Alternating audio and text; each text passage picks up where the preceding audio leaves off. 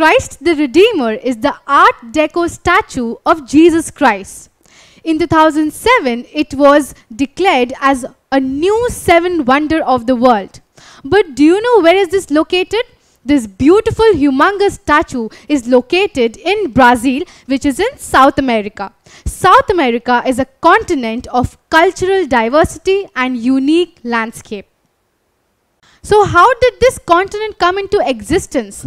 As we have already studied in our previous lessons, earlier, that is millions of years ago, there was a supercontinent named Pangaea. After the breaking down of Pangaea into different land masses, the continents came into existence. So, we can see here in the picture how Pangaea, that is the supercontinent, is like a jigsaw puzzle in which all the continents are stuck together. While there is a super ocean called Panthalassa. So when Pangaea started breaking up into smaller fragments of landmass, eventually it led to the continents that we see today. So around 150 million years ago, South America, which was a part of Gondwana land along with Africa, Australia and Antarctica, that is right here, then around 100 million years ago, the continent of South America got separated from the Gondwana landmass and finally, after many years, this is how the continent looks today. So now there are seven continents on our planet, out of which South America is also one of them. However, before the continent was discovered by the explorers, it is believed that the continent was inhabited by the Incas people. So Incas are people who belong to a very old civilization named the Inca civilization. So you see on this map that the Inca Empire was spread over a vast region in the continent of South America.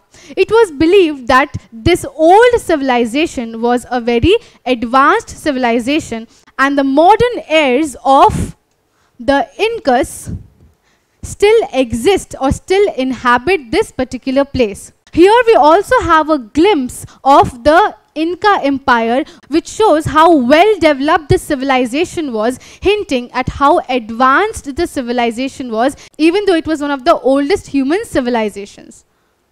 South America derived its name from the very famous explorer named Amerigo Vespucci. Now, Amerigo Vespucci made a number of expeditions to the continent of South America, after which the continent was named after him.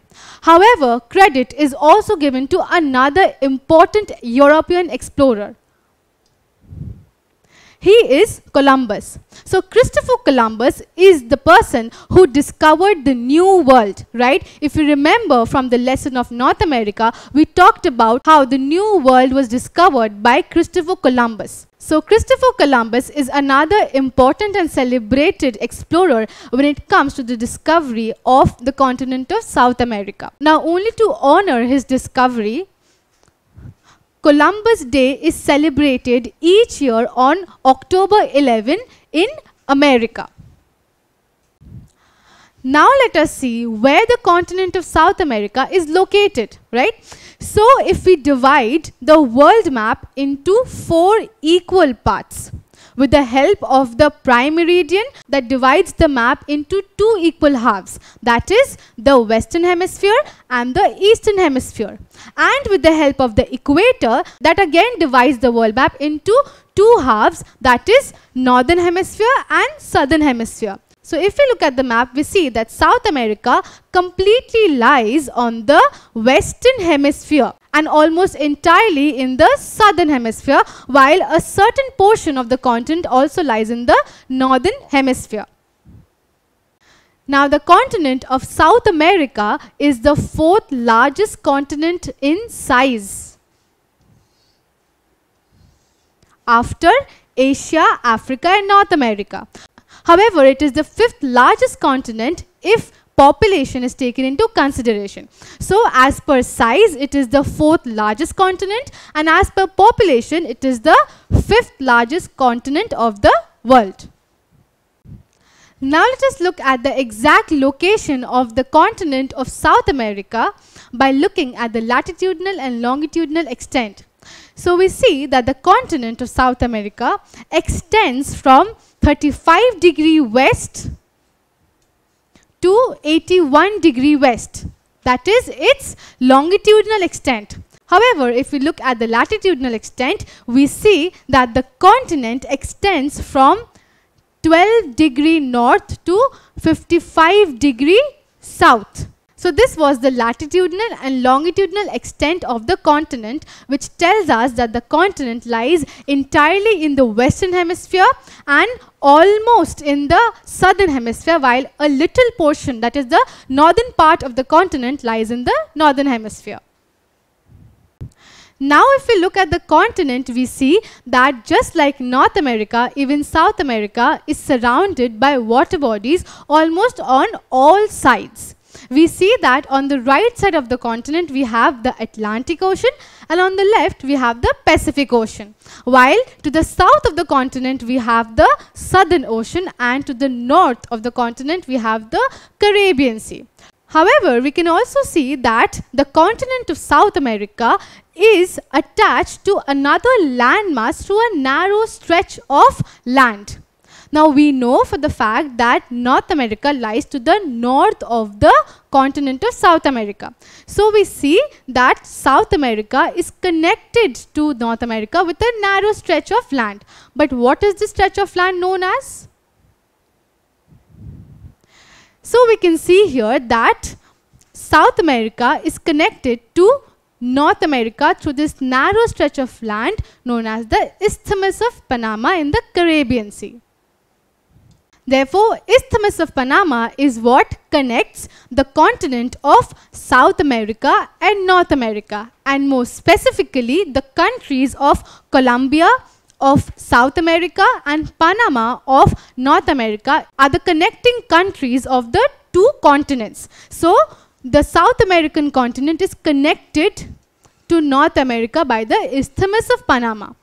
Now, if you remember from the previous lesson, we learnt about the meaning of isthmus. However, just for a revision, we have the definition of isthmus here as well. So, what is an isthmus? An isthmus is a narrow piece of land joining two large pieces of land and separating two large water bodies. So here the Isthmus of Panama is separating the Atlantic Ocean and the Pacific Ocean while it is joining two large land masses that is South America and North America. So before we proceed with the lesson, could you help me answer this simple question? Which landmass connects North America to South America? Is it Isthmus of Suez, Isthmus of Panama, or the Adams Bridge, or the Karelian Isthmus? Yes, I think you've already guessed it right. The correct answer is the Isthmus of Panama. So the Isthmus of Panama is the narrow stretch of land that connects the two continents that is North America and South America. Now we looked at the Isthmus of Panama in the northern part of the continent. Let's zoom into the southern part where we have the Cape Horn and the Drake Passage. So what is the Drake Passage? So the Drake Passage is a water body. So it is the water body that separates the continent of South America from the continent of Antarctica. The continent of South America is separated from the continent of Antarctica by the Drake Passage. So the Drake Passage as you can see is a water body separating the two land masses, right? Now it is believed that the Drake Passage is a place where the ship can make the most treacherous voyages. This place is believed to have very strong and dangerous currents and the waves here rise up to 40 feet height. So the Drake Passage to the south of the continent is a stretch of water body that separates the continent from Antarctica. Let us again zoom into the southern part of the continent. We see there is a group of islands called Tierra del Fuego, an archipelago that is at the southernmost tip of the continent and it is shared by Chile and Argentina. So we just saw in the previous video that Tierra del Fuego is a group of islands or an archipelago at the southernmost tip of the continent. Now Cape Horn marks the southernmost tip of the continent of South America. So, while Tierra del Fuego lies at the southernmost tip of the continent, the southernmost tip is marked by Cape Horn. Now, near the archipelago of Tierra del Fuego, we have the Strait of Magellan. So, the Strait of Magellan is a narrow stretch of water body that acts as a natural passage between Atlantic and Pacific Ocean. So, this narrow stretch of water body acts as a natural passage between the two oceans that is Atlantic Ocean and Pacific Ocean. Now why do we call it the Strait of Magellan? Now the Strait of Magellan derives its name or was named after the European explorer named Ferdinand Magellan. We have a picture of Ferdinand Magellan here. So Ferdinand Magellan was a European explorer who on his voyage around the world discovered that the world is round and not flat. So earlier people used to believe that the earth is flat and if we go very end of the land surface on the earth then we'll drop off. But however, after the voyage around the world by Ferdinand Magellan, it was discovered that the world is round. So coming back to the Strait of Magellan, the Strait of Magellan is named after Ferdinand Magellan only after he made a voyage. So the water body here that acts as a natural passage between the Atlantic Ocean and the Pacific Ocean is a strait that was named after the European explorer after his voyage around the world. So in this lesson, we were able to understand that South America is a continent that lies entirely in the Western Hemisphere and almost in the Southern Hemisphere right? We also understood that the continent is almost surrounded by water bodies on all sides. However, it is connected to the continent of North America at the northern portion through the Isthmus of Panama, while it is separated from the continent of Antarctica at the southern portion by the Drake Passage. We further learn that there is a natural passage at the southern portion of the continent that joins two oceans, Atlantic Ocean and Pacific Ocean, and that is the Strait of Magellan. In our next lesson, we will be learning more about the physical divisions of the continent of South America.